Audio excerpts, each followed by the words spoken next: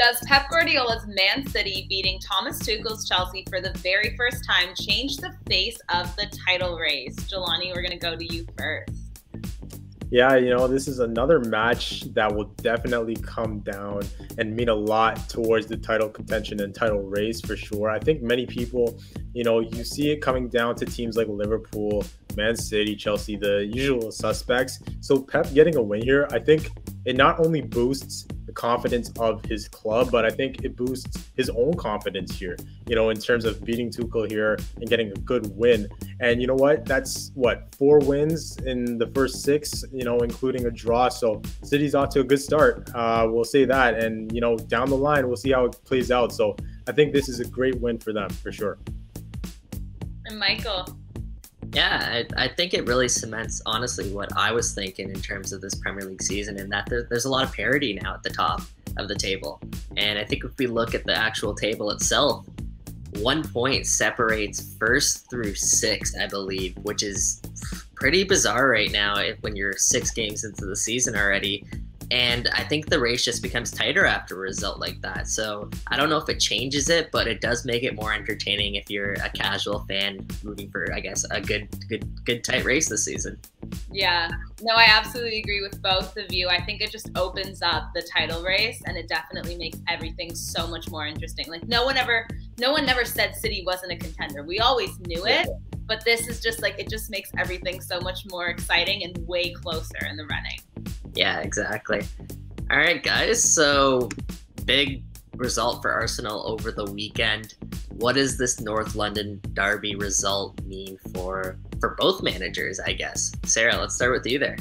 Well, I just want to say last week, guys, that I told you Arsenal needed this win, and they came out not only winning, but like destroying Tottenham. I think Arteta and his team needed this more because they were just in the bottom of the title, like the entire league. They were doing so poorly. So at least like this kind of sparks the question: Is Arsenal back? Not in a sense that they're going to win it. I don't think anyone thinks they are, but they have a lot of potential and they're showing it. So I think it's really exciting. And honestly, for Tottenham it really shows the holes they have in this team and it's just more and more opening up and i'm really like over the games i'm watching with them i'm losing more and more faith in nuno unfortunately yeah that's three losses in a row for tottenham three wins in a row for arsenal jelani what are your thoughts yeah, you know, Tottenham, they weren't aggressive at all. I think that their hearts just sank before halftime. Um, they continue to drop down the table. And as each match goes on, you know, they continue to show more holes and show more vulnerability, you know, and a lot of, you know, issues. I think just getting to the, it's getting to the tipping point because you know fans are getting to Nuno and you know even the post game interview I think it had to be I think it had to be like removed or, or was pulled because of you know the reaction from Spurs fans. So it's getting uh, ridiculous now. You know the the amount that they're dropping down the table and things of that nature.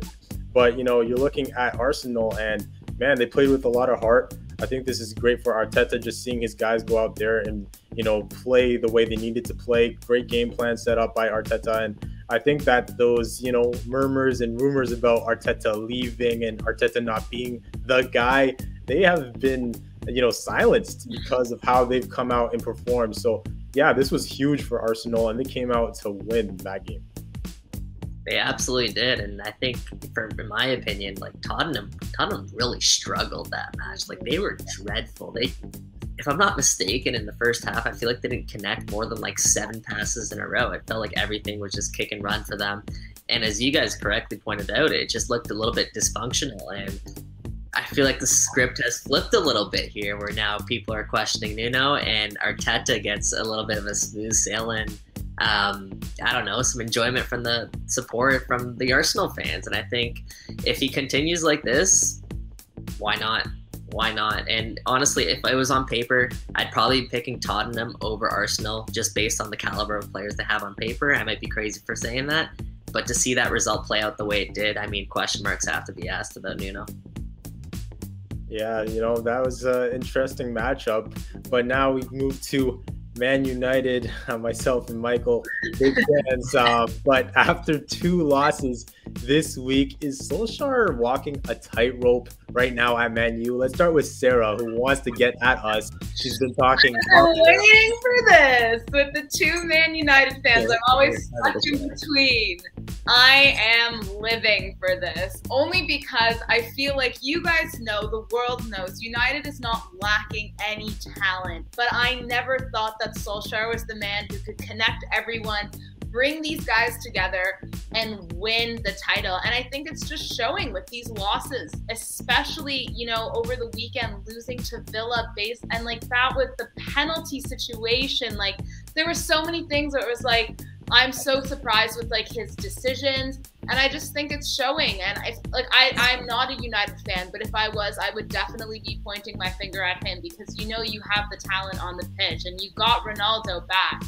So I I think if it continues more than you know a few more games, I really think you could see him getting sacked. And Michael yeah, I, I don't think we're there yet, in my opinion. Um, you know, Ole Gunnar Solskjaer, he's shown that he really grows as the season goes on. Um, that being said, I mean, yeah, it, it's disappointing to lose games in the fashion that they've been losing them but there is still some holes on this on this Manchester United roster, and I think specifically in the in the central midfield position. And I think that's where we're seeing a lot of disconnect right now for, for United. And I think if there's one piece you go out there and get, it is essentially central defender to kind of boost this roster. That being said, results have to come, as Sarah correctly pointed out. Like this is a, a team that has high expectations. Um, and when you're you're being knocked out of a cup and you're dropping points to Aston Villa in the league, question marks again will be asked, and and if, if this continues, they'll be asked even louder. So I don't think we're there yet, but we'll see. We'll see. We could get there. Yeah, man. I just I don't know.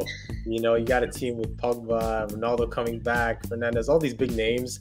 You know, you should be in prime position to win matches against teams like Villa and put up performances that we, you know, that we want to see against teams like Villa, West Ham, um, you know, even young boys. Talking about that match, you know, how that unfolded. So, yeah, I, I won't say that we're talking about Solskjaer being sacked right now, but honestly, it's becoming another 50 50 thing with the fans. You know, does he go? Does he stay? Is he the guy?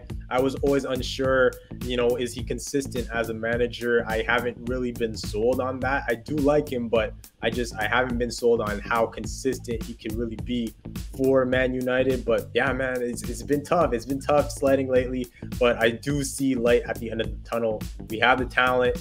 We just need to bring everything back into focus. But you know, Michael, you mentioned that we do need some help in terms of center mid, sorry, center um, backfield. So, you know, we were also talking about um, some Englishmen uh, looking at Rice, looking at Phillips, possible, you know, rumors circulating right now uh, for Man United. But yeah, we'll see how it goes uh, down the line.